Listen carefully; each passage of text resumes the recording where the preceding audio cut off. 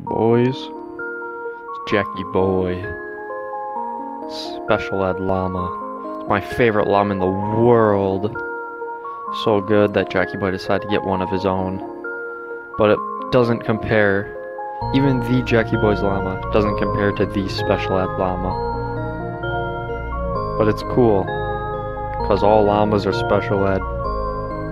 Yeah, yeah. Special Ed Llama, Special Ed Llama, with an extra chromosome, chromosome, chromosome. Special Ed Llama, Special Ed Llama.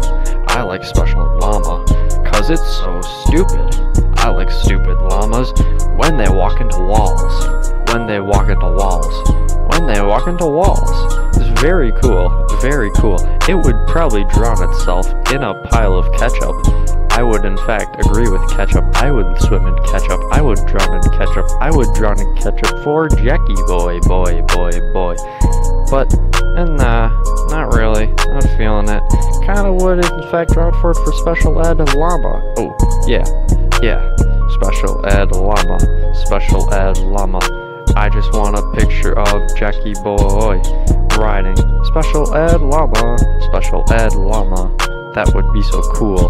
That would be so cool. Yeah. Special Ed Llama boys.